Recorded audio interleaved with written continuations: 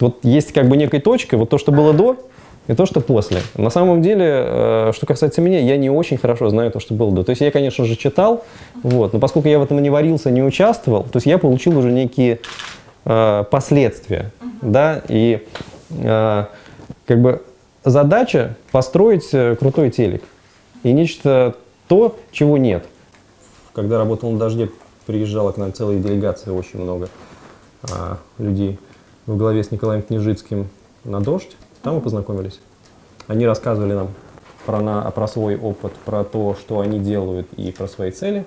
А мы рассказывали, ну, а мы рассказывали про то, что мы делаем, такой обмен опытом. Впечатлений не было. Было понятно, что люди э, делают э, э, в Украине нечто похожее, но цели, я имею в виду, нечто похожее, как и там, у «Дождя».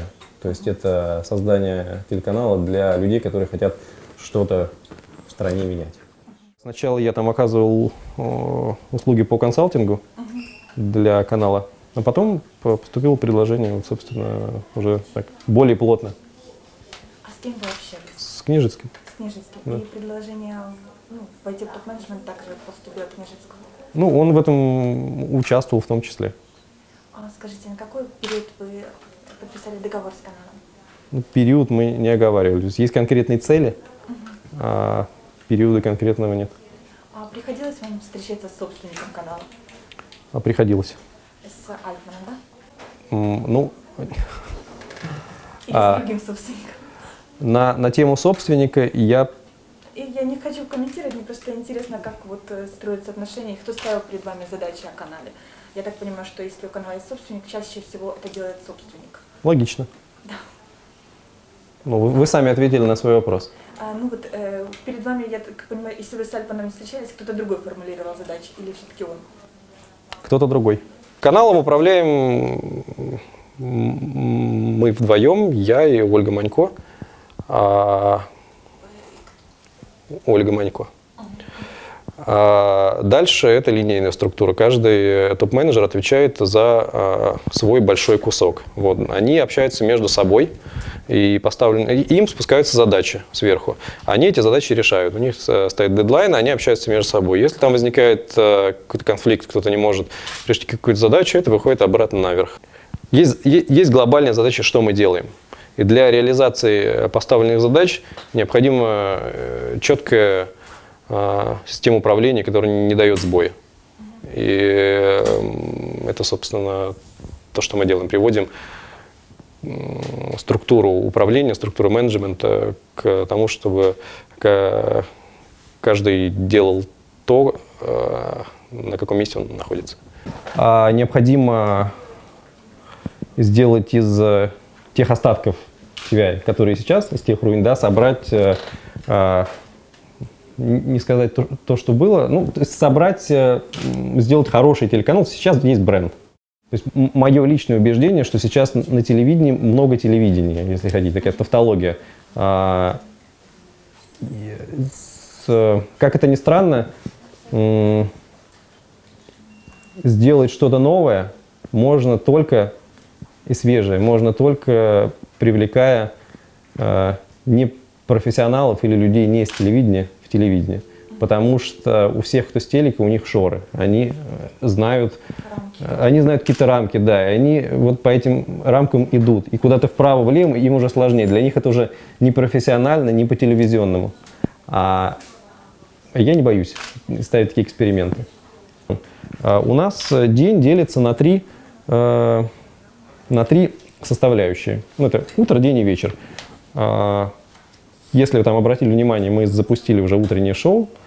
А, Мы про него пока не говорим, мы, мы его пока не анонсируем, потому что это все-таки такой сыроватый продукт, но тем не менее это уже то, что можно, можно смотреть. День у нас более форматный, э, там уже более такие взрослые новости. Мы его тоже уже запустили, но мы его пока запустили только маленькие из него кусочки. Это два выпуска новостей в 15, в 12 и в 15 часов. А Сейчас буквально там через неделю можно будет посмотреть э, к, к- к этому дневному эфиру. Значит, э, дополнительные рубрики будут запущены.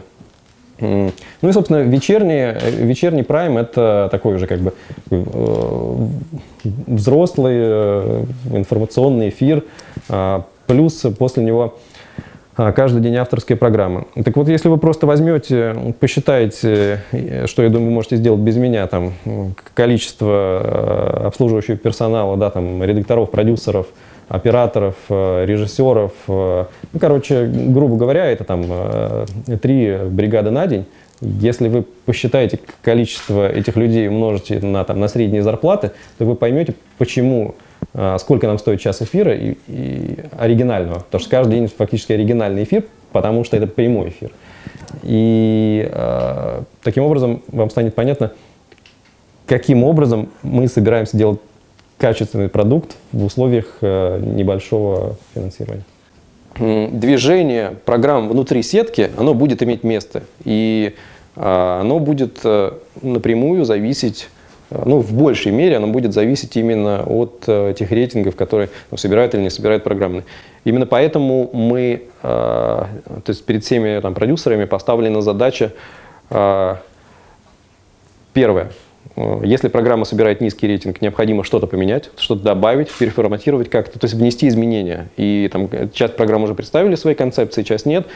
Плюс необходимо уделить огромное внимание анонсированию. Потому что если мы не анонсировали программу, то ее никто не посмотрит. Если вы возьмете э, бюджеты телека и интернета, вы увидите, там, насколько нулей они отличаются. Вот. А, собственно, интернет-телевидение – это те же камеры, это, это тот же тракт, это тот же пульт, это те же студии, это тот же контент. Ну, то есть у вас, э, вы кардинально свои затраты не порежете там, на несколько нулей. В Украине, в России, да в принципе, э, вот на всем там постсоветском пространстве – интернет-телевидение не способно окупать э, те затраты, которые на него необходимы. То есть невозможно купить инвестиции, и в ближайшем обозримом будущем тоже. Поэтому это будут какие-то минусовые по-любому проекты, и вопрос финансирования, он будет стоять у этих проектов очень остро.